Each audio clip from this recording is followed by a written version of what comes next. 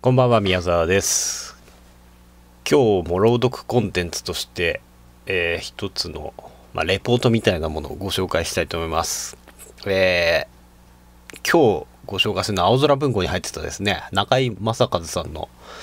地方の青年についての報告という文章です。まあ、すごい短いんで、まあ、読み上げます。えーで、中井正和さんって方、まあ、岩波文庫に中井正和評論集ってのが入ってますね。で、具体的に何をやった方かっていうのは僕もよく知らないんですけども、あの、まあ、国会図書館の館長かなんかしてたんです。館長だか副館長だかしてた人ですね。たただ、すごい教養のある方なんですね。で、えー中井正和評論集って買っ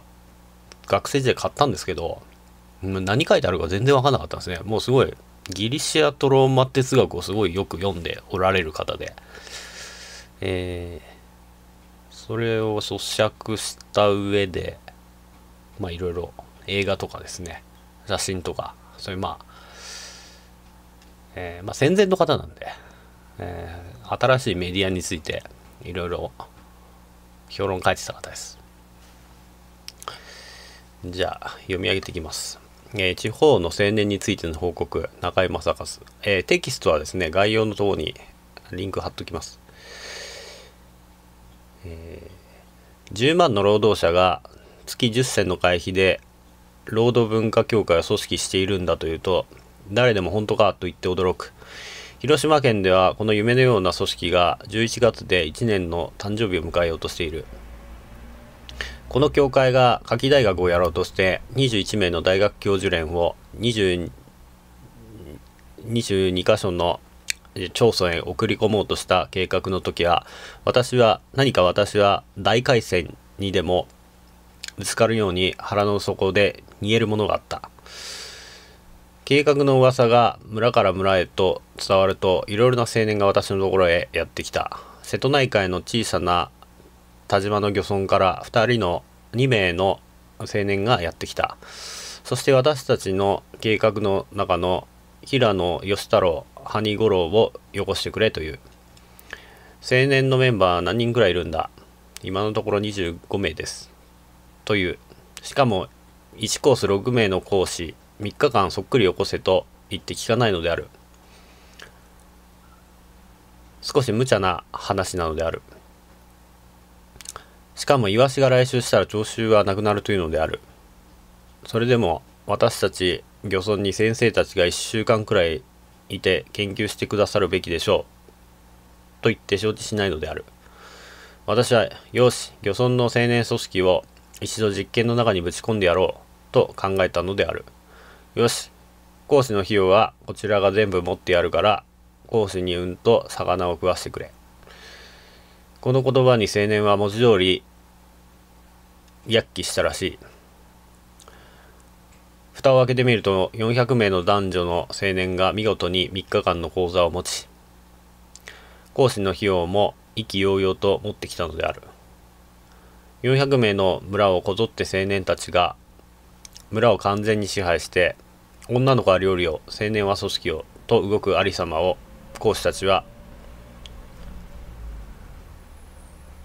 帰って実に愉快そうに話して聞かすのであった。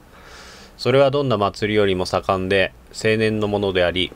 男女が聞いたこともない心理の激しさに胸をときめかしながら一つの組織の中に溶けることは実に青年たちにとっては一つの驚きであったらしい。隣の村がそれに参加しない。その青年たちの警部は農漁村が未だ経験したことのない正しい競争への誇りでもあるのである。その島は毎土曜日のレコードコンサコンサートと公演を私に申し込んできている。それは実に楽しいことである。しかしかかることが淡々と行われると思ったら大間違いである。実に血みどろな封建ボスとの戦いの均衡の中で行われているのである。青年たちがアトラスのように土を持ち上げようとした喘ぎの一つ一つの現象なのである。22町村の中から友も呉も脱落した。米がないからと断ってきたから農村に一握りのカンパをして五升の米をやると言っても出来上がらなかった。数千の労働者がいてもできない町もある。25名でもできる村もある。それは激しい戦いであり一つの村で勝ったり一つの村で敗れたりしているのである。農村での勝敗の分け目は博打を打つ青年のパーセンテージで決、ま、定まるのである。今日読書会に出た青年が明日博打を打つかもしれないのも防ぎ止めるところに指導青年の苦心があるのである。23名の戦いをに戦っている青年たちは良い講師が他村に持っていかれることを実に悔しがる。先生来年は先生頼みますと泣くように言う。そんな時実に私も泣けてくる。都会で論争と喧嘩ばかりしている講師たちがどうしてこの青年たちの真ん中に飛び込んできてやらないのか。村は村から村へ反動構成のボス連の焼き討ちにかかって次から次から次へと燃えてしまって焼け落ちていっているのに。町の青年層となると学生が増える。学生は妙に反動へと浮遊していく。正しさはよくわかるが潜在意識のあのファッション教育の斬新の奥の方からささやくささやくようにブレーキをかけるものがあるらしい。この蜘蛛の巣のようなものを手や指に掴んでやけを起こしている風が見える。この混迷には行くものと帰るものがあり帰るものが行くものであるという。西田さんのウィルペルかっこ深田光さん先生はそう呼んでおられたがかっこ年は格好のゆりかごとなり青年たちをそこに吸い込んでいるのである。小学校の先生たちがまたこの心よいリズムの中に回転しながら吸い込まれていっている。そこになると労働者青年の哲学講座は違う。彼らはまずカントの線を学びたがる。カント講座が聴衆を最も長く多く引きつける。そしてそれの弁証法への契機を追い求める。そして弁証法を腹の底まで自分のものにしたいといくらでも貪欲に追求してくる。ただ全体に田舎の労働者の青年たちで話すのに注意しなければならないのは1あまりカタカナかっこ外国語を用いないこと。2一度に3つより多くの主題を話の上に盛らないこと。3具体的な例を必ず理論の横につけること。4話題は実践的であり身近であり本質的であることなどなどである。しかしかかる実践の中にぶち込まれることはいかに自分が何も知らないかということを激しい嵐が危機の弱い梢を払うように自分に知らせてくれる。私たちは何のために生きているんですか？とまっすぐ瞳を見入りながら問いただしてくる青年たちと日夜取り組むことは容易ならざる自分の鍛錬でもある。しかしいくら苦しかろうとも青年たちもまたあのボスのもと戦い戦う武器を火を消さなければならぬ水を探し求めてやってきているのである。田舎ではそれは単に知識ではなくしてその日その日の武器なのである。以上です。読みながら思い出したんですけどもえー、まあ、この方は京都人民戦線と関連のあった方だと思いますね。まあ、普通文学者の蓮見茂彦さんが、近代日本の批評っていうシンポジウムなんですけど、まあ、講談社学芸文庫から出てますけど、あそこで書いてたのは、中井正和さんが戦前人民戦線の中心になる可能性があったって言ってましたけども、まあ、蓮見茂彦さんのお父さんが中山正和さんの友人だかなんだかだったらしいんですけどね。確か。で何を言いたいかっていうとですねまあ何ていうんですかね。戦前ファシズムと戦ってた人たちの中にまあ京都学派京都学派だから西田喜太郎っていう哲学者いますけどあの人たちの弟子みたいな人たちですね。がまあそういう京都滝川事件っていうのに関連してまあ人民戦線みたいな闘争をやろうとしたんですね。まあ失敗しちゃったんですけどね。でこういう人たちが戦後何をやろうかと思ったかっていうとやっぱりどうしても日本の教育っていうのはですねまあ方なんていうか義務教育。まあ戦後は戦後民主主義になりましたけど何ていうんですかねファッション教育っていうかまあなんか一つのものにまとめ上げる教育になっちゃうんですね。まあ今もそうですけどね道徳教育やろうって言ってんで。まああれは細かく見りゃじゃあ道徳って何なんだって話から始めなきゃいけないんですね。で中井正和さんたちがやったのは道徳教育をまず関東からやると。で関東の講座を田舎で開いてるんですね。だ田舎のその漁村の労働者たちの青年に哲学講座を設けて道徳って何か教えたと。で、まあ、関東の道徳哲学を教えるってことですね。でまあ西田喜太郎さん自体がその、まあ、関東も読んでる人ですから、まあ、西田西田幾多郎さんによる哲学ブームみたいなのが全然あったんですね。だから、えー西田幾多郎さんの善の研究ってありますけど、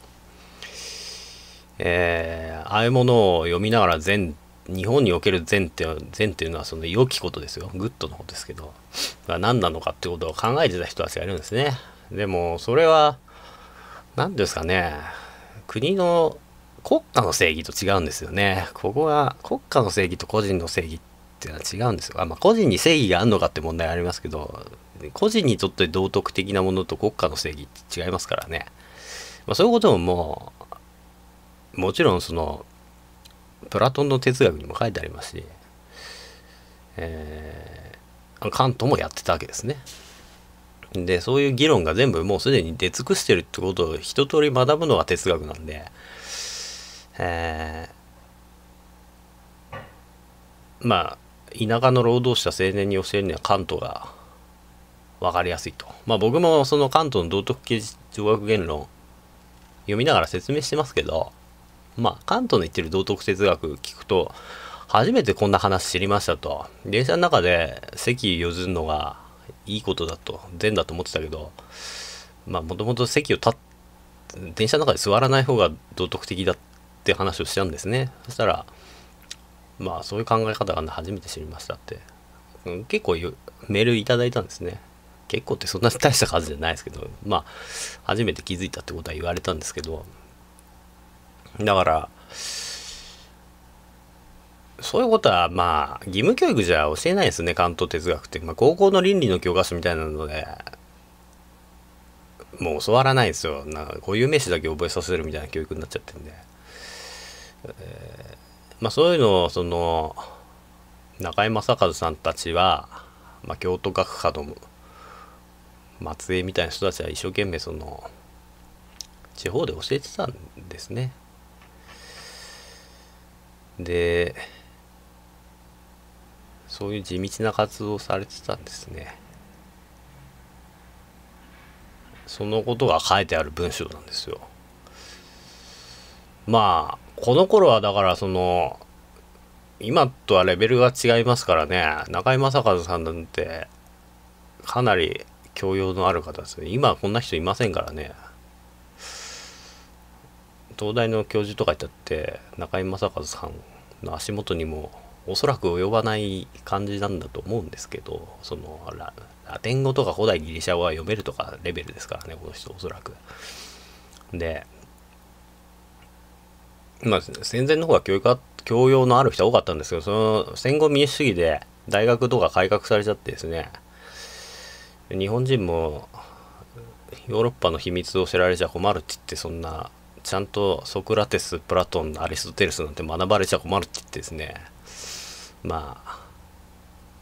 大学ズタズタにされてる部分も僕はどう考えてもあると思うんですけどあるんですよおそらく。そういう思想洗脳みたいなのがアメリカによってですよ。GHQ によって主導的にやられてるものは。で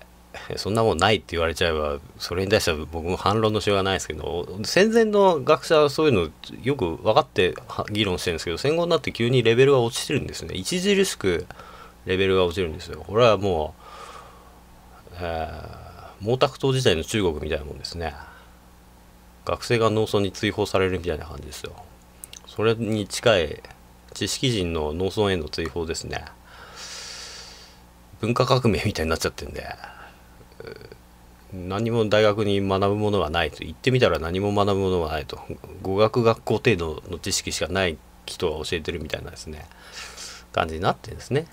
でそれじゃまずいってことでその中山隆さんたちはそのまあ大学まで行かないような労働者青年たちに哲学講座を一生懸命開いてそれは25人しか集まんなくても1週間行ってですね、えー、魚をごちそうになってお金ももらわず教えてたっていうことをやってたみたいなんですね。だからこの文章読むまでそんなことやってたの知らなかったんですけど、そういう形で地方地方に、えー、文化組織を作ってたと。それは政治運動じゃないですね。文化組織なんで。まあ文化組織と政治運動どう違うんだって思うかもしれないですけど、結局文化組織だって言ってやってても、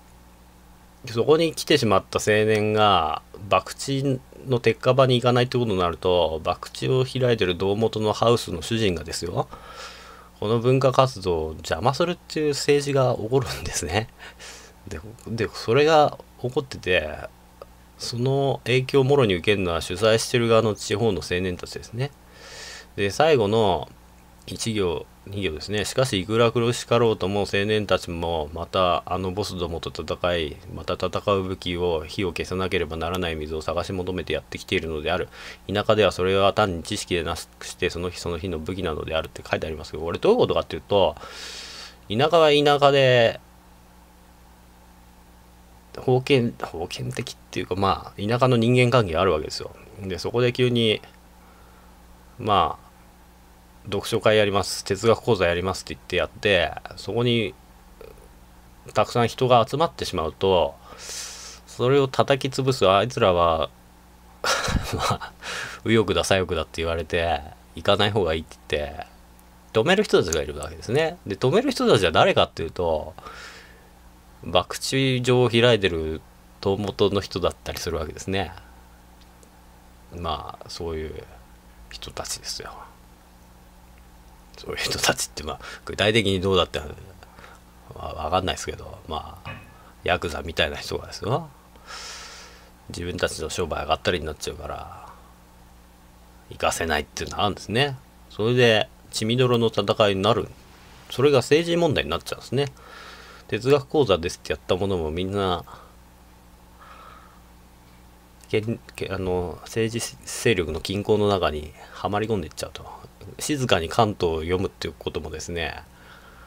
そんなことやらせないっていう人たちが出てきちゃうんですね。行くなって言うんですね。お前は今日博打に出てこなきゃぶっ殺すとか言われちゃうわけですよね。行かないで哲学講座に行きましたって言うと後で河原でボコボコに殴られるとかですね。なっちゃうですね。だからまあよくよく考えればですよ。その何ていうんですか不良仲間に入ってて「いや俺今日勉強するから図書館に行くわ」とか言われると「お前何言ってんだよ」と。て、えー、リンチされちゃうのと一緒ですね。一回入ると抜けられないというしがらみが田舎にはあるんで、えー、そういうことになっちゃうと。まあそういう土地とそうじゃない土地があると思うんですね。幸いまあ僕の住んでる信州はですよ信州岩波講座とかなんかそういう講座よくやってる何ていうんですかね、まあ、教育圏だって昔は言われてますけど大して教育圏ではないんですけどあの全国平均から見るとテストの成績は悪いんですけどもただその文化的なものを大切にしようっていう意識は住んでてあるなとは思いますね。他のとこに住んだ時にあ自分の地元はまだそういうものに対してあるなっていうのは思ったことあるんで。で、そうじゃないとこもあるんですね、もちろん。そうじゃないとこの人たちは、読書会に行くのにも、哲学講座にも行くのも、